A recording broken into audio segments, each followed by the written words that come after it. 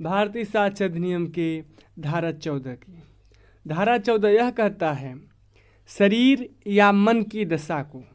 दो चीज़ों की बात करता है, शरीर या मन की दशा को या शारीरिक संवेदना को। दर्शित करने वाले तथ्य हैं तो वो तथ्य कैसे आने जाएँगे, सुसंगत माने जाएँगे। आइए दोस्तों थोड़ा इसको एलोबरेट करते हैं। धारा चौदह इस सिद्धांत पर आधारित है कि वह तथ्य, जो पहला मानसिक तथ्य को दर्शित करते हैं, शारीरिक दशा को दर्शित करते हैं, किसी भावना को दर्शित करते हैं, वह क्या है? सुसंगत तथ्य। तीन चीज़ें हैं फ्रेंड। पहला, मानसिक दशा, दूसरा, शारीरिक दशा, तीसरा फीलिंग यानी भावना।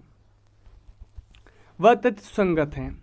यह धारा उन तथ्यों को सुसंगत बनाती है, जो तथ्य शारीरिक या मानसिक दशाओं को प्रकट करते हैं। शरीर की दशा इसका तात्पर्य है स्वस्थ होना, बीमार होना, अपाहिज होना या अन्य कोई शारीरिक विकृति या घायल होना। यह सब क्या कही जाएँगी? शारीरिक दशाएँ। बीमा के मामले में व्यक्ति का स्वस्थ होना संगत तथ्य है। विष दिए जाने के संबंध में विष दिए जाने से पहले स्वास्थ्य की दशा संगत तथ्य है।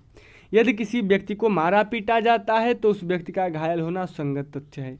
जो मारपीट की घटना को प्रमाणित करता है, क्योंकि यदि कोई व्यक्ति घायल नहीं होता तो मारपीट की घटना झूठी होगी। दोस्तों, यह रही आपकी शरीर की दशा। अब बात करते हैं मानसिक दशा की।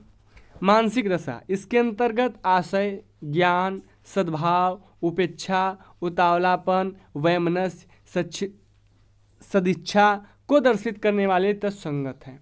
यदि ऐसे तत्व मानसिक हैं, जो मन की दशा या आपराधिक मनस्थिति को दर्शाते हैं, आपराधिक मामलों में आशय का तत्व महत्वपूर्ण होता है।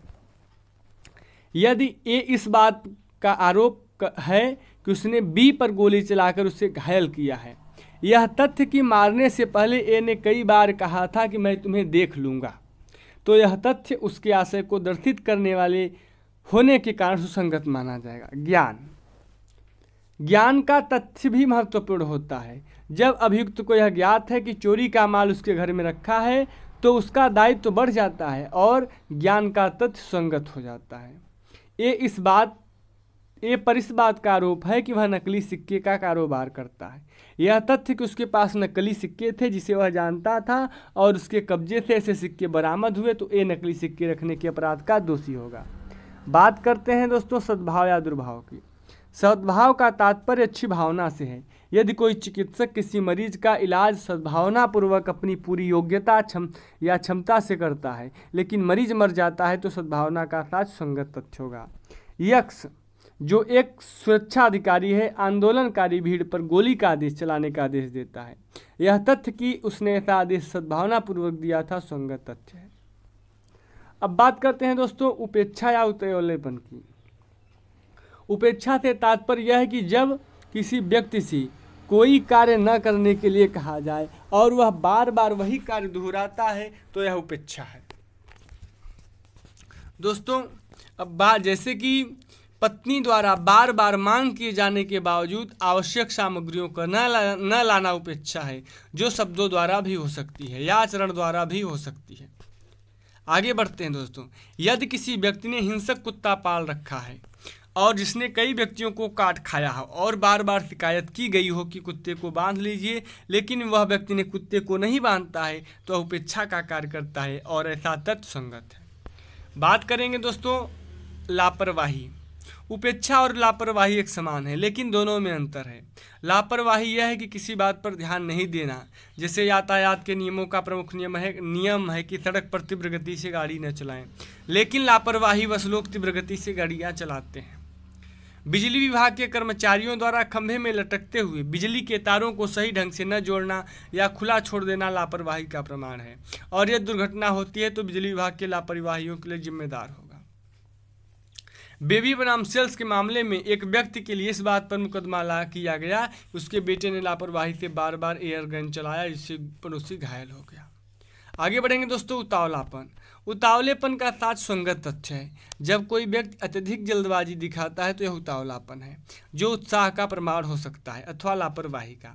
जैसे तीव्र गति से गाड़ी चलाना, लापरवाही और उतावलापन दोनों है।